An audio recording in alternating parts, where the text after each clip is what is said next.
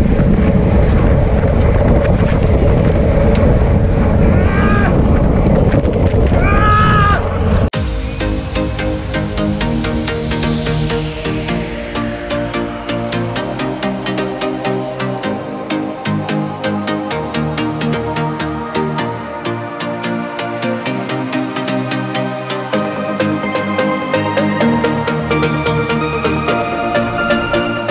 Hey guys, welcome back. This is stage four, the Intelligentsia Cup. This is the Autobahn road race, and I'm picking up front camera coverage here of um, pretty much the second half of the race. Joined the the breakaway here, but it's it's way too big. There's probably like 15 riders, maybe even more, in the group here, and um, all the big teams are represented. And for whatever reason, these Kern House guys on my left, they're they're not working. Well, actually, I think I know the reason the race leaders in the group, he's a really strong sprinter, and they're probably making sure that he's doing his, his fair share before they commit to this breakaway. You can see on the right here, this is the breakaway group as it stands. And we're still keeping it fast. There's still a lot of motivated riders who are taking hard pulls at the front who want to stay away from the 70 or so riders chasing. There's one notable exception, and that's the Da Vinci rider here on my right. And he was doing the funniest thing. He kept telling me that he's eating and he would skip his pull, and that maybe works once, maybe twice, but like eventually, um, I was calling him on, on that bullshit and making him pull through, but he uh, he was pretty stubborn about it. So when a breakaway is this big, and there's people skipping pulls, there's going to be attacks, and that's a good example of one right there.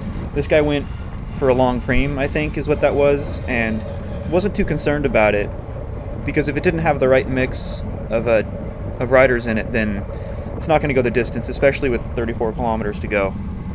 But as we got closer to the finish, became pretty obvious that uh, this group wasn't going to stay together, and there was probably going to be a selection from this selection that would make its way towards the finish. So I I was just looking for the strong riders in the group, making sure that uh, it wasn't using any unnecessary energy chasing down futile attacks that weren't going to make it.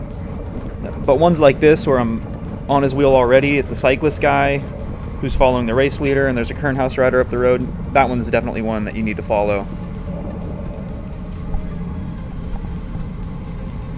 So looks like there's two guys still up the road. Now I saw a lot of these guys like this Triple X rider, some other guys like myself who didn't have teammates in this group who were initiating attacks, which, I mean, maybe if you're like a time trial style rider, something like that, I can see, but for me, you know that that burden should be on um, on the major teams.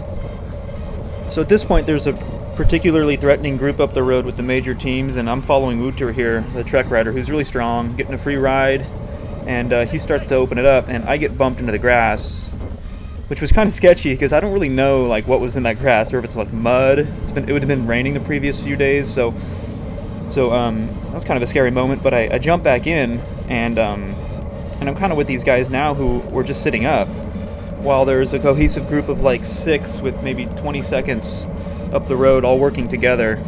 So I work my way to the front, and uh, boom, my buddy uh, on the Da Vinci team, he launches this pretty massive attack with a Kern House rider in tow, and, and I recognize that as a major threat because he's motivated to get up there, I'm motivated to get up there, and um, that's this is my opportunity to make that bridge. So I, I really commit to this effort here. Just to, just to even get on on this wheel is uh, really really tough effort. 26 Ks left in the race, and um, I got to get on this now. This is this is critical to get up to the front group. And it's worth noting too that uh, the race leader isn't represented in that front group. So so I'm especially motivated to get up there because I know that everyone's going to be working and going to be doing what they can to prevent the race leader from being up there because people also, especially on Kern House and cyclists, they're thinking about the overall competition, so they want to distance themselves on the race leader as best as they can. So this Kern House guy, he's not going to be chasing. He's got a teammate up the road. So eventually, Da Vinci guy pulls off, and uh, I need to keep it fast. I'm, I'm dying a thousand deaths here, but I need to keep it fast. I need to make sure, because now we're, we're committed to it there may be uh, 10 seconds ahead of us, and we probably have a 15 or 20 second gap behind us to the chasers. So I'm fully committed to this one now, and I just need to keep it fast. Give the Da Vinci Rider some respite. Because for the time being, we're we may as well be teammates. We're allies in this chase. We have a common interest in getting across. And once we get across, we can kind of reevaluate and maybe start attacking each other, wait for the sprint or whatever. But uh, you can see them up the road. They're not very far. So the Kernhouse guy eventually, so he he puts in this little attack. I don't know if he was trying to trying to distance us or what, but but I think he looked back, saw the gap behind, saw the gap in front of us, and thought, well, you know, we, we might not make it without his help. So he, now he's now he's working too. He realized that that uh, we're invested in this uh, bridge attempt, so um, so now he's helping us too, which which was a real godsend because uh, you know we, we may not have made it without his help. I don't know how much more the, the Da Vinci guy had, but uh, but I was dying for sure. You know, it was a relief too to see him do this right here. He was talking into his radio, presumably up to his teammate in the group ahead. You know, telling him to, to to slow it down up there, stop working, make sure we can get across. Because even though it looks close right here, we, we still have work to do, and this is the hardest part of the course, um, false flat uphill. And um, as we got closer, he, he put in this this uh, attack to try to get across, maybe shed one of us. And to be honest, it almost worked on me. Like, uh, look at my heart rate. I mean, that's about as fast as it goes.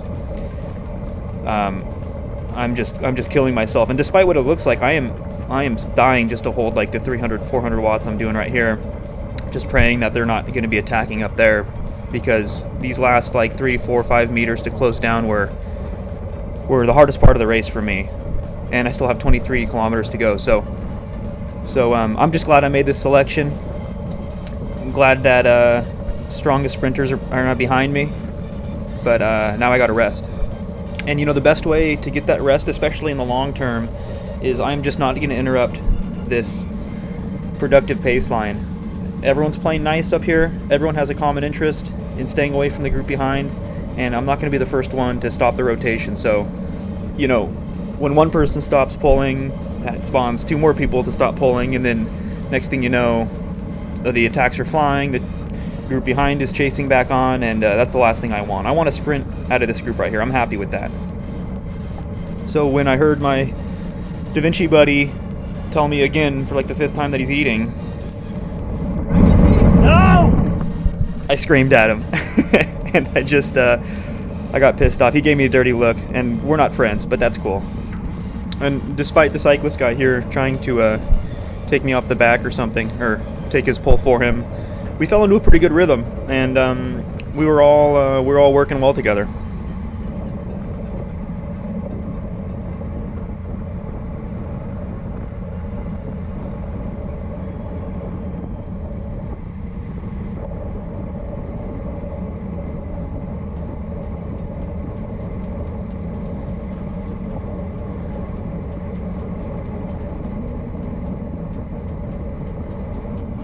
Then there's my Da Vinci pal here, still playing games, trying to take me off the back. But you know, maybe he's hungry. Maybe he didn't get enough to eat. He's still pissed off at me for that. So he started skipping poles, and um, with about a lap and a half to go, he was the first one to launch an attack and disrupt our nice rotation. So, so this was something that I that I was worried about because I wanted to roll in this group together, which I knew wasn't going to happen but after that first attack win, it didn't take long for just a series of, uh, of a lot more attacks going. And, and just like before, I wasn't too concerned about it unless it had that right mix. With two Kernhouse riders and two cyclist riders in this group, they were the pressure was really on them um, to uh, to initiate this move. And then if both of those teams were represented, like in this case right here, this group up the road, I had to burn some matches to get across. Uh, Kernhouse looking back for me to close this gap because he's got his teammate up the road. All these guys raced really well, really tactically sound. Um, I wouldn't expect anything less. These guys are um, these guys are elite. They're they're domestic pros. So so uh, I was just trying to keep it together and uh, you know come in. My best chances were were from a field sprint out of this group. So I just wanted to make sure that I was I was at the front of it. So here goes a Kernhouse guy chasing a cyclist guy. Pretty threatening. But I look back and I realize Da Vinci Rider and then also uh, Wouter are back here. I wanted to make sure the Da Vinci Rider, he was he was uh, taking his fair share of poles because he's already demonstrated that he's strong. He wants to attack. He doesn't want it to come to a sprint, and I wanted to make sure he was at least burning some matches. Here we are on the last lap. The cyclist guy went, and and I just rolled it because it was convenient. And I looked back, and it was like nobody was chasing. So I thought, well, well, maybe this will work. And in hindsight, you know, probably a mistake. This really isn't my my power profile to go long like this, but but if they're going to let us get a gap, you know, worst case scenario, it tires them out just as much as it tires me out. But alas, it didn't work. We get caught. Again, Da Vinci just under 3Ks to go, just refusing to do any work at the front. I'm worried about him too now because he's strong. Now, Cyclist was launching these attacks. Here goes a, an individual cyclist rider, 2.5Ks to go. This actually, believe it or not, I'm I'm happy. Like I'm happy when just an individual rider goes like this because now I'm not going to rotate through the front. I'm going to leave it to Kernhouse. Sure enough, Kernhouse goes. Everyone's chasing, so this is good. I'm getting a uh, getting a nice draft. Wouter strong.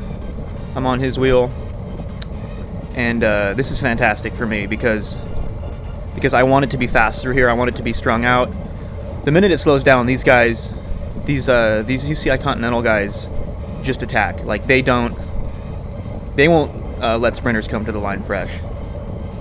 So this is good news for me right here. Wouter's Wouter's pulling me back up to this move. We only have a couple of bike lengths. Oh, this was pretty funny too. Here in the, in the closing meters, we we pass, we we lap the field, and they're screaming at us. I get a little bit of encouragement. You got the kids on the right, threw a bottle of their way. They were stoked. That was pretty cool. And then boom, there goes my buddy Da Vinci. I was worried about him. He's so strong. That was such a gnarly attack, and um, and that's that's with 1.5 Ks to go. That's a threatening one. Everyone's on high alert now, and I'm, oh God, I don't have much left in my legs to be perfectly honest. But again, you know, individual rider attacking like that, it's up to these other teams to chase. So I'm still thinking there's a pretty good chance it's going to come back together. But look at that gap he established, like right away. I mean, I was throwing shade earlier, but but I got to hand it to the guy. Uh, really impressive attack here with uh, with just over 1k to go. So I look up the road now. I see a cyclist guy chasing it down, which is bad because um, that's that's really eliminating two people from the chase. Because now his teammate, who's back in the group here, he's not going to chase if he's got a teammate up the road. So now it's up to Kernhouse, and I'm liking my chances still at this point. Here we're 800 meters to go, still liking my chances because I'm thinking, oh, Kernhouse missed it. They're super strong. They're going to bring this back. They're going to close it down, and then I'm going to be able to sit on get a free ride up until uh, the sprint finish. But we come up on their wheel here, and it's apparent they're not doing anything. So, so basically at this point, that group of two is gone. We have 500 meters to go. They have like 10 seconds. They're gone. So now I'm just going to try to snag that last podium spot. And the attacks are flying now. These guys desperate who aren't who aren't sprinters are trying to go for a long one. Still looking really good for my podium spot. Unfortunately, the win is, is off the table at this point. And I'm really not in the best position here. And now we're, we're 200 meters to go. I, I need to just need to punch it. I get on a good wheel here though, and Kernhouse drops his chain. I jump on his teammate's wheel. I find a gap where there really isn't one, and man, it just opens up. I'm screaming, and uh, I just I'm able to to secure that last podium spot. I am thrilled to get that last podium spot. What an awesome day. This result alone made the trip worth it. Congrats to Cyclist, congrats to Da Vinci for taking the top two steps, and uh, as always, thanks for watching. See you guys in the next one.